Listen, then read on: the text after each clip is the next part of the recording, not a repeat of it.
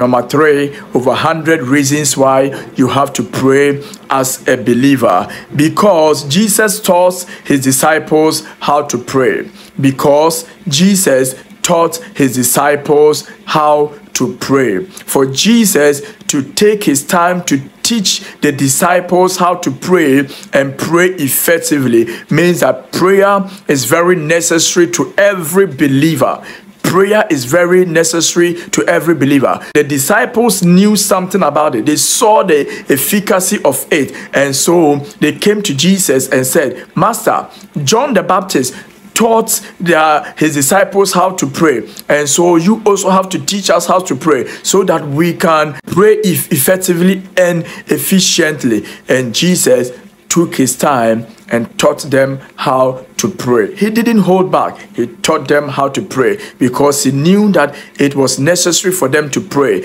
and they have to pray effectively and efficiently to command result.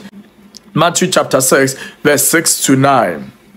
But thou, but thou, when thou prayest, enter into thy closet, and when thou hast shut thy door, Pray to thy Father which is in secret, and thy Father which seeth in secret shall reward thee openly. But when ye pray, use not vain repetitions as the hidden do, for they think that they shall be heard for their much speaking. Be ye therefore like, be not ye therefore like unto them, for your Father knoweth what things ye have need of before ye ask him. After this manner, therefore, pray ye, Our Father, which art in heaven, hallowed be thy name. And so Jesus taught his disciples how to pray. And for him to teach his disciples how to pray means that prayer is very important to every believer. Kindly like, share, and follow for more inspiring and amazing videos.